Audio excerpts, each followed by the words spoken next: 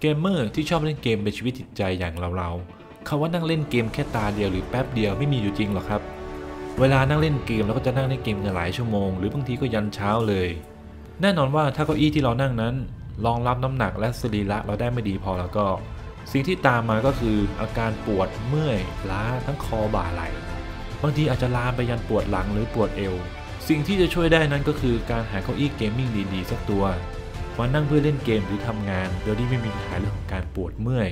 และสามารถรองรับรูปร่างสรีระของเราได้อย่างนุ่มนวลทำให้สบายผ่อนคลายเวลานั่ง เดี๋ยวคลิปนี้ผมจะรีวิวจากการใช้งานจริงผ่านไปแล้วประมาณ 3 เดือน ทั้งตัววัสดุและฟังก์ชันต่างๆ ของตัวเก้าอี้ Secret Lab รุ่นนี้ นี่คือเก้าอี้เกมมิ่งใหม่ล่าสุดจาก Secret Lab รุ่น Titan Evo 2022 Series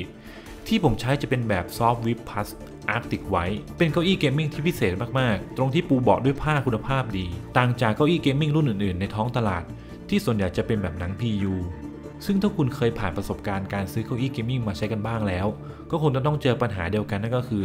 เวลาใช้ไปสักพักแล้วหนัง PU หลุดลอกออกจากเบาะ แต่ไม่ต้องกังวลครับ เพราะของ Secret Lab เขาอัปเกรดวัสดุเป็นหนังเทียมแบบไฮบริด บอกได้เลยว่าทนทานแน่นอน แต่ครั้งนี้ผมขอลองเป็นเก้าอี้เกมมิ่งแบบผ้าซะหน่อย เล็งไปตั้งนานแล้ว พอได้ลองใช้จริง ๆ แล้ว ผมมีความรู้สึกประทับใจในทันทีที่ได้ใช้ เพราะเวลานั่งเล่นเกมผมจะเปิดแอร์ไปด้วย แต่ด้วยความที่มันเป็นเก้าอี้ผ้านะครับผมก็จะรู้สึกอุ่นๆ ไม่หนาวจนเกินไป แต่ในทางกลับกัน เวลาไม่เปิดแอร์ก็ไม่ได้ร้อน เพราะว่าเนื้อผ้าระบายอากาศได้ดี สรุปคือใช้ได้ทั้งสองแบบ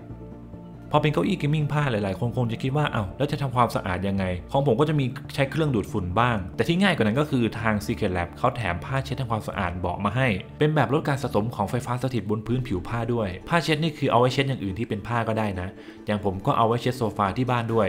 ถ้าสนใจ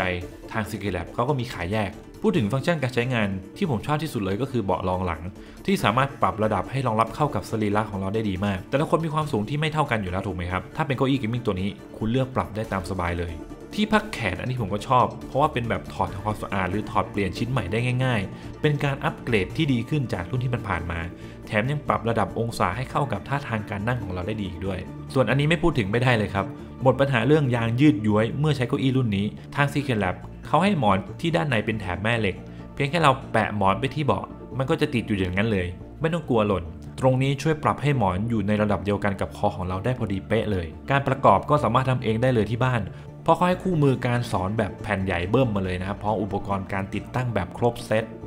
สรุปคือตั้งแต่ได้มาใช้คือชอบมาก ๆ จัดว่าเป็นเก้าอี้เกมมิ่งที่ตอบโจทย์เรื่องวัสดุคุณภาพที่ดี และเรื่องการปรับใช้ให้เข้ากับสรีระของแต่ละคนได้ดีมาก เหมือนซื้อเก้าอี้เกมมิ่งแล้วได้ฟังก์ชันเก้าอี้เพื่อสุขภาพมาด้วย ในการซื้อครั้งเดียว อย่าลืมนะครับ นี่คือ Secret Lab รุ่น Titan Evo 2022 Series ที่ผมใช้จะเป็นสีขาว SoftWeave Plus Arctic White ใช้ดีเลยมาบอกต่อครับสำหรับคนที่สนใจอยากจะซื้อบ้าง อยากดูรายละเอียดเพิ่มอีก ผมให้ลิงก์ไว้ใต้คลิปแล้วนะครับ ขอบคุณที่รับชมแล้วเจอกันใหม่ครับ สวัสดีครับ